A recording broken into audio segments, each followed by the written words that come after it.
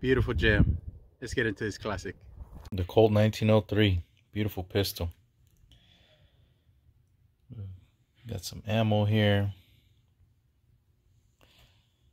Now, if you like old movies, I'm sure you've seen this uh, this beautiful pistol countless times. Uh, one of my favorite movies uh, featuring the Colt 1903 is uh, Public Enemies. That's a great movie. Uh, now this one here, after running the uh, serial number, it was manufactured in 1922. Designed by John Moses Browning, developed by the Colt Manufacturing or the Colt Factory.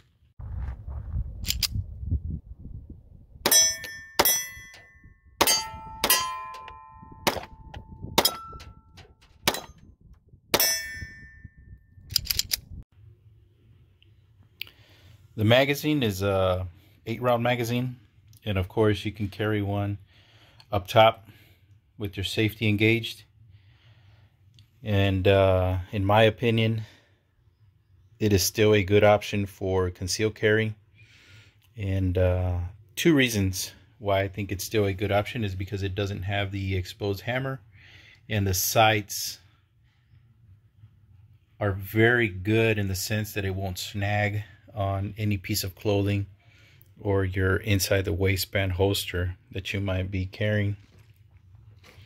And uh, I've actually seen uh, some people still show up to uh, concealed carry courses or certification classes uh, here in my area with a Colt 1903 and the uh, Colt 1908, which the 1908 is chambered in a 380.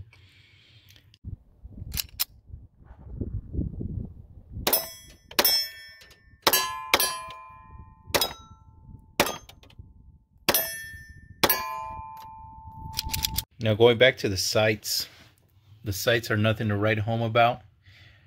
Um, but I think uh, anything with uh, within 20 yards, you'll be able to hit something.